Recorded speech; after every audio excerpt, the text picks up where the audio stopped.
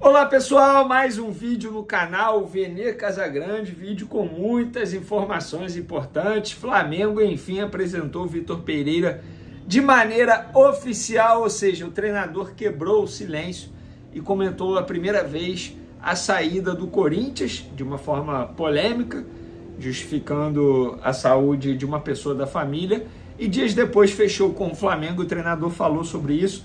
Marcos Braz e Bruno Spindel confirmaram o interesse, é, confirmaram interesse não, mas confirmaram que a diretoria gosta de dois nomes que estão sendo especulados no Flamengo e que a gente já até comentou aqui no canal Vene Casagrande e vamos falar agora. Mas antes, queria pedir para você se inscrever no canal, dar o like no vídeo e ativar a notificação e compartilhar o vídeo com os amigos, com as amigas. Por que você tem que fazer isso? Porque você fazendo isso, você vai ajudar o canal Vini Casagrande crescer muito mais, atingir o maior número de pessoas possível, chegar a 300 mil inscritos. Que tal você ajudar o Vini Casagrande? Pois é, é fácil, galera, é simples. É só se inscrever, dar o like, pegar o link e jogar nos grupos aí de WhatsApp que você participa. Se quiser ajudar de maneira financeira, meu muito obrigado. O Pix está aqui na descrição e o link para o clube de membros também. Vamos lá, pessoal. Vou começar falando sobre o Vitor Pereira, que falou sobre a saída dele. Ele disse o seguinte: Vou aproveitar a oportunidade porque estive calado esse tempo todo. Muita coisa dita por quem não me conhece. Vou esclarecer porque esta é a verdade. Minha vinda para o Brasil há um ano acontece de uma forma. Eu não tinha essa perspectiva de vir e eu aceitei para ficar um ano. E esse ano de contrato foi cumprido na íntegra, com responsabilidade, dedicação e sofrimento muitas noites sem dormir. Foi assim que estive sempre até o último dia de contrato. Eu sempre transmiti ao clube que acabaria a temporada e eu iria para casa. Há muitas famílias por esse Brasil que lidam com alguma situação familiar séria igual a minha. E por isso, pelo desgaste que eu sei que essa situação de saúde provoca na minha família, eu fui dizendo sempre que iria para casa apoiá-los.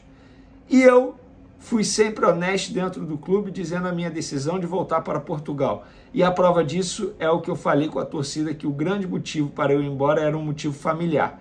E eu fiz essa declaração. Não houve mentira nenhuma. Isto é a verdade. Quem disser alguma coisa além disso está mentindo. E ele prosseguiu aqui. O que acontece depois disso, depois do campeonato ter acabado, surge um clube da dimensão do Flamengo. E surge nossa primeira conversa. E eu fiquei pensando, porque o Flamengo teria um ano de muitos desafios, um plantel de muita qualidade, e eu acho que, num ponto de vista profissional, todos os treinadores iriam pensar. E eu fiquei pensando, sabendo do problema familiar que tinha para resolver, e com quem eu tive que falar era com a minha família. Se minha família entendeu que poderíamos lidar com a situação de saúde, mas que o desafio profissional seria importante para a minha carreira, eu tive que tomar uma decisão. Isso é tão verdade que meu staff não conseguiu me acompanhar porque ficaríamos apenas um ano no Brasil. E ele finalizou dizendo o seguinte: se, se fiquei a dever alguma coisa, foi a minha esposa. Não devo mais nada a ninguém. Trabalhei sério, dei tudo de mim, meu staff não veio porque cada um de nós tem o seu contexto familiar para resolver. Eu agradeço a forma que fui tratado no clube anterior e eu retribuí com esforço, dedicação e compromisso. Aqui estou com alegria, pronto para agarrar esse projeto. Do ponto de vista profissional, é um projeto que me alicia. Vim ao Brasil para ganhar títulos. Só se eu for. Prestem atenção nessa parte, galera. Só se eu fosse maluco, eu não pensaria naquilo que esse projeto pode me trazer. Portanto, não sei onde está a mentira, não sei onde eu fui mau caráter, afirmou o técnico. É, galera, isso foi uma resposta ao presidente do Corinthians, do Willian, que disse o seguinte na ocasião: ele mentiu, fui enganado. O que foi colocado para nós foi colocado para os torcedores. Eu lamento a frustração. Des dedicaram carinho ao Vitor, mas ele mentiu. Tudo o que sabemos foi colocado a vocês. Uma doença da sogra, ele preferiu sair por isso. O Corinthians é maior que tudo isso. Vamos em frente. Temos condições para isso e elenco para seguir. Falou o presidente do Corinthians na ocasião. Galera, sejamos francos. É verdade que ele tinha que ele tem um problema na família. Isso é verdade, tá? Isso não é mentira, é uma verdade. Ele tem um problema na família. Ele decidiu voltar para Portugal por conta desse problema na, na família. Só que, galera, O Vitor Pereira e ninguém imaginava que o Flamengo não fosse renovar com o Dorival e que o Flamengo iria ligar para ele. Quando ele recebe o telefonema do Flamengo, tudo muda. E não é exagero dizer. Hoje o Flamengo é o principal clube do mercado sul-americano. O elenco, a estrutura, tudo que o Flamengo oferece vai chamar a atenção de qualquer profissional. E chamou a atenção do Vitor Pereira. Vitor Pereira recebeu a proposta do Flamengo, virou para a família dele e disse: Olha só, eu estou com essa proposta. Vocês topam encarar esse problema por mais uma temporada, que é o tempo que eu vou fechar de contrato com o Flamengo? A família deu ok e ele aceitou a proposta do Flamengo. Simples assim. Qual é o problema disso? Hoje o Flamengo está acima de qualquer clube do futebol brasileiro. E é a verdade, não só do futebol brasileiro, do futebol sul-americano. Então, ponto final nesse assunto.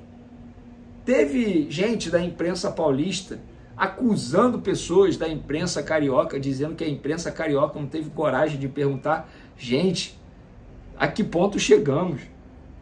Chega desse assunto. E você, torcedor do Corinthians, não fique revoltado. É a verdade. No Corinthians ele não teria as condições que hoje ele tem no Flamengo. O Flamengo vai disputar o Mundial daqui a 30 dias. Então chega desse assunto, parou. Para de chororô. E simples assim. Ah, o Vitor Pereira é mau caráter. Você pode achar o que for. Mas eu, no lugar dele, talvez tomasse a mesma decisão. Você aí que está assistindo, talvez tomasse a mesma decisão. Você que está do outro lado, é um engenheiro. Você resolve sair de uma empresa. Estou dando um exemplo aqui.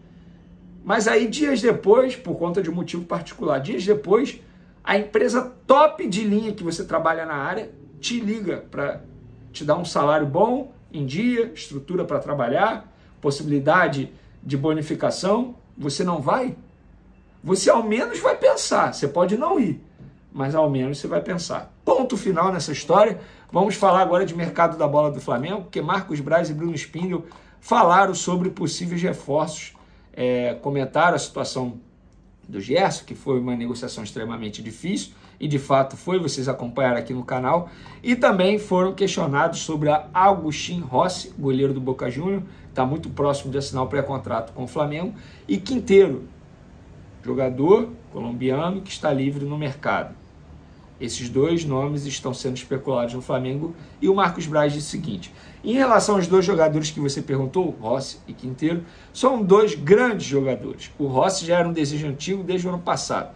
A gente chegou a conversar com o Boca para saber as possibilidades, a gente entendeu as razões do clube de seguir uma negociação. Isso ficou um banho-maria, até porque ele tinha contrato até o final de maio, se eu não me engano. A situação do Quinteiro foi um pouco mais no final do ano. Não temos absolutamente nada com esses dois jogadores. Estamos analisando o custo-benefício, só analisamos até que ponto temos que fazer o exercício de tentar essa contratação. O Rossi pode assinar um pré-contrato a partir de ontem, mas não temos absolutamente nada. São dois jogadores que a gente gosta e entende que são muito qualificados. Tá? Ou seja, o Marcos Braz ele confirma que os dois nomes agradam e muito a diretoria. No caso do, do Rossi, é o famoso pouco provável, porque o Flamengo está vias de fato de assinar um pré-contrato. Só que, para não criar um mal-estar com Boca, até porque o Flamengo vai negociar a liberação dele desde já com Boca, o Marcos Braz deu essa resposta. Isso é o meu entendimento. Porque é um jogador que vai assinar um pré-contrato com o Flamengo em breve. Inclusive, documentação estava pronta, feita para enviar ao jogador. Existe até a possibilidade da diretoria viajar à Argentina para fechar essa contratação. Sobre Quinteiro, o que eu sei é, o próprio Braz confirmou que ele é muito bem avaliado pela diretoria, ele foi oferecido, Vitor Pereira será questionado sobre uma possibilidade de trazer esse atleta e o Flamengo pode abrir negociação a qualquer momento. É isso que eu sei, é tudo que eu sei até agora. Sobre Gerson, Gerson ainda vai ser apresentado de maneira oficial. É, eles falaram que foi muito, uma negociação muito difícil, mas deu certo. É isso que vale.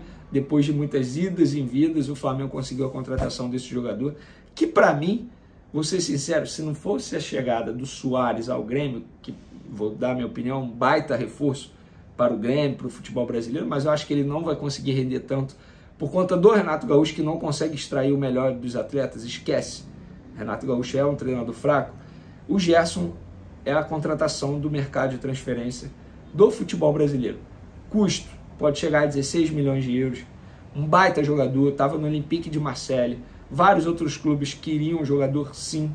Então, baita reforço. Em breve o Flamengo vai é, divulgar aí sobre a apresentação oficial do volante Gerson. Valeu, galera! Um beijo, um forte abraço, tamo junto e fui!